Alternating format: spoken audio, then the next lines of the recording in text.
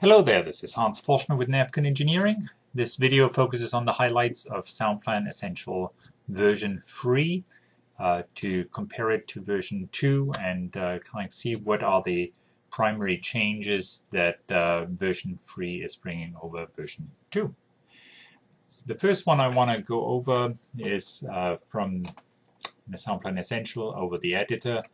Uh, here's a uh, small training projects let me show you very quick uh, what it entitles. So we have uh, road sources, these are the red lines. So here we have like elementary school with uh, point sources on top of the roof uh, representing the HVAC uh, system, also a wall-mounted HVAC system, a area source uh, representing for the playground.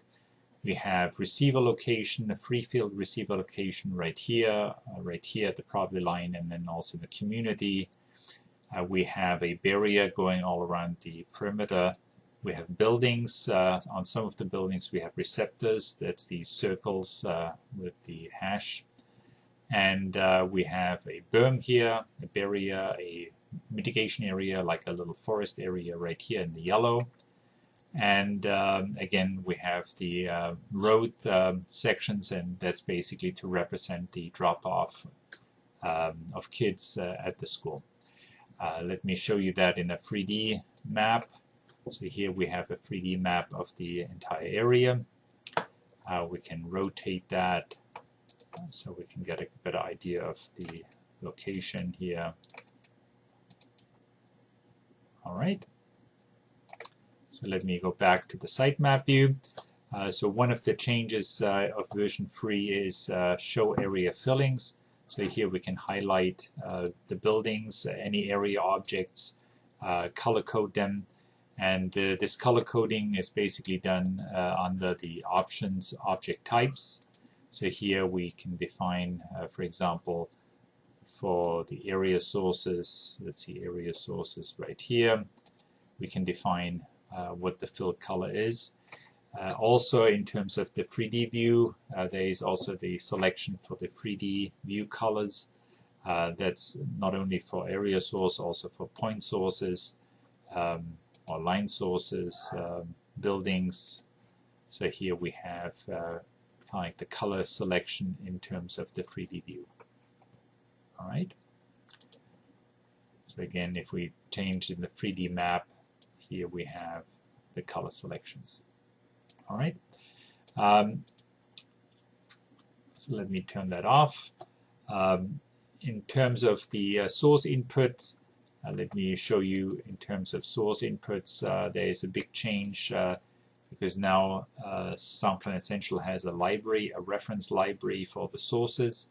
So before we only had the spectrum here and it basically was a table input. Now we have, when we click on the spectrum, we have a emission or source library which is uh, separated in a system library. The system library is uh, the library that comes with the software.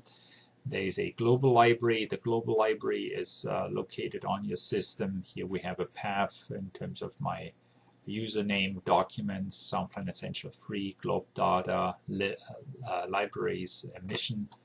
Uh, so that's an absolute uh, database and we can uh, move uh, project information into your global data. So if we go to global data and I go for example to this uh, element here, we can right click and copy um, the data into your global library. We can also copy an element into the same project.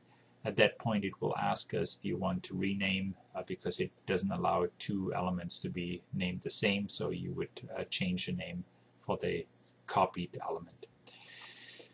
In terms of the uh, elements in the library, we have a general, uh, a general tab where we can define a uh, comment down here where the data came from. So if we have different uh, information for different uh, source elements, so we can uh, describe them and document them for future projects, or if you put them in the global data, where so you can know later on where the data in that element uh, in the global element library comes from.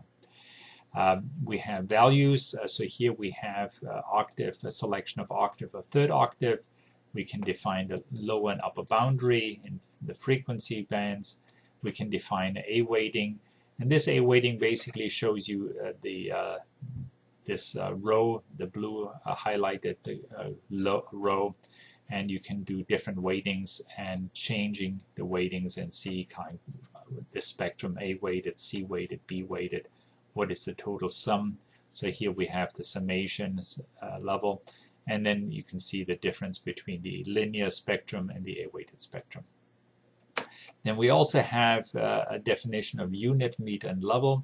The unit is the sound power for the entire source. Uh, the meter definition is the sound power defined as intensity per line meter per square meter of an area source or line source. And the level definition is actually a specific definition. Uh, let me go to this element down here where we have the level definition. So what this allows us, uh, if we have uh, a sound pressure level at a certain distance of a source, uh, we can put that into the library and then here with a right click we can go uh, we can copy uh, this is a copy and paste to Excel for example so we can copy information to Excel and then back from Excel into the library. We can do edit sum where we can uh, adjust the spectrum uh, total level. And then here we have also the convert sound pressure to sound power function. What this function will do is allow us to use uh, four principal uh, surface types um, to uh, that we can use to calculate the pressure level from pressure level to a sound power level. So a typical uh, is a box shape um, measurement uh, uh, surface.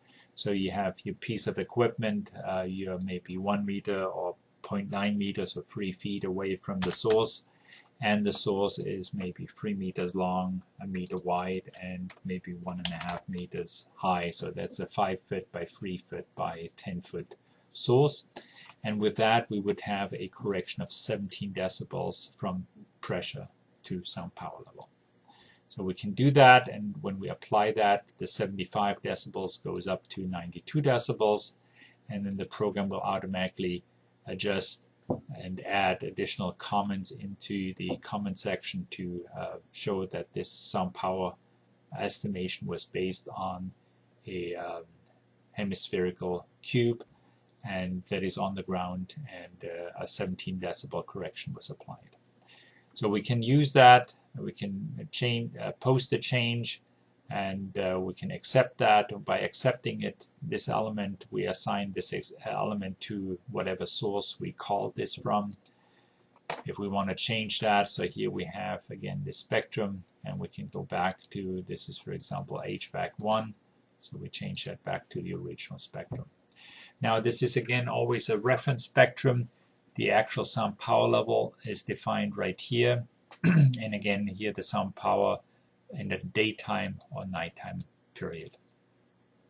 So this is one of the ch bigger changes in version 3 is the library. Uh, we talked about the uh, definition of unit meter level and also the uh, calculation from sound pressure level to sound power level. Another big change in this uh, version 3 is that you can apply or uh, set a point source directly on a building. So if I have a point source input defined, uh, you can go right to the building and then the program will recognize that it's right next to the building. It will allow you to position the source in the distance uh, to the wall, to the beginning of the wall. So this is a, a source that was, uh, the building was put in counterclockwise. So here we can say it's five meter from that left corner and it is maybe three meters above the ground and we want to put it uh, 0.01 so that's one centimeters in front of the facade. So we click OK and it put the receiver uh, the source right here. And then again we can define and make the changes to the name of the source the spectrum the sound power level and then here we have the source already put in here. So we can delete this one. So select that and uh, delete it and then here are all the other sources that are uh, here either on the rooftop or on the wall here. Uh, we can do the same thing for area source. So if I put area source right here, the big difference between a point and area, we can define the complete facade as a source and then it automatically takes the uh, edges of that facade for the source definition. So we'll click OK. And then here we have the entire facade defined. We can say, okay, this is a wall uh, radiating noise from inside. so here we can uh, define, uh, let's say, an interior, um, whatever, music room, and uh, we know a certain transmission loss, and then we could apply, for example, a certain sound power level per square meter of that area source, so an intensity maybe in the order of 40 decibels for that entire area source. All right. So let me uh, show that in 3D. So here we have a 3D map. So here we can see this entire building of building facade as an area source. All right. Uh, next uh, change um, in terms of um, version 3, um, we can uh, make a rotation so we can uh, select objects and uh, we see this little diamond when the object is selected. And then when you hit the control button and then go on to that diamond um, you have this rotation option so we can rotate an object. If you do it with multiple objects you can rotate multiple objects. Alright um,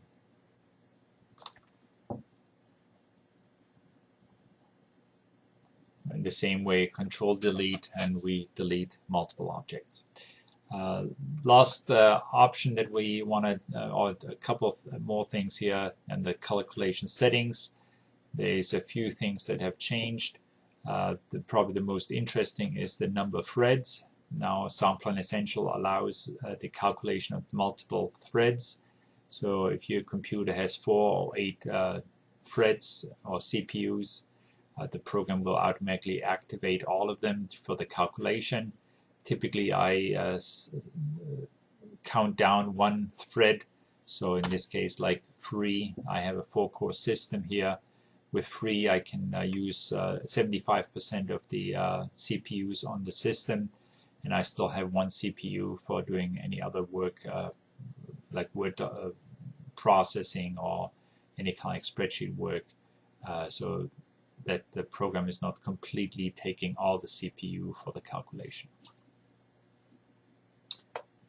Um, so that um, kind of ends my, my uh, video here in terms of the highlights of uh, version 3. Again, uh, the biggest highlights are the uh, library, the reference library, the multi-threading, uh, some of the object uh, definition in terms of the coloring and the object types, and then also the selecting and fill area. So here again, show area filling um, to highlight kind of some of the area elements. Thank you for listening and uh, watching the video. Have a good day.